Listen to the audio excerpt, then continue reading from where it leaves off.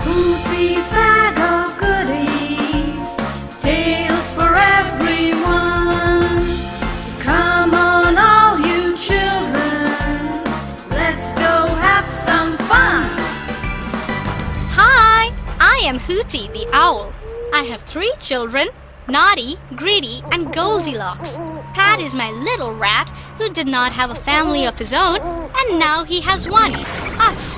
Mom, what does arrogant mean? Well, honey, arrogant means a person who is too proud of himself and thinks that he is better than everyone else. But why do you ask? Today in school, this boy was behaving very badly with the teacher, and the teacher told him, You are an arrogant boy. Oh, okay. Arrogance is a very bad thing. One should never be arrogant. Come on, call your brothers and sister. I'll tell you all a story about a few very arrogant crows and how they were punished. Goldilocks, greedy, naughty, come here quick! It's story time! Once a poor little bird lost her way to her nest. Soon it started getting dark, so she stopped over on a tree. There were many crows already perched on this tree. They were all very arrogant and did not like newcomers. One of them shouted, Get off our tree! The little bird pleaded, It might rain. Please let me stay for a while. but the crows wouldn't listen.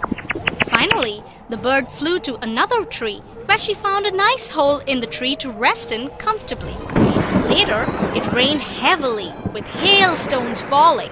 Many of the crows on the first tree were hurt, and some of them even died. When the weather calmed down, the bird came out and decided to fly homewards. One of the crows from the other tree asked the bird, How come you're not hurt? God helps humble creatures and lets arrogant ones like you suffer. The bird replied, Ah, poor little birdie. She must have been so scared.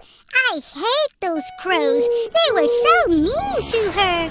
Yes, and that is why they were punished for their selfishness. Hmm, now I get story is God punishes those who are arrogant. That's why the boy at school today was also punished by the teacher. Exactly.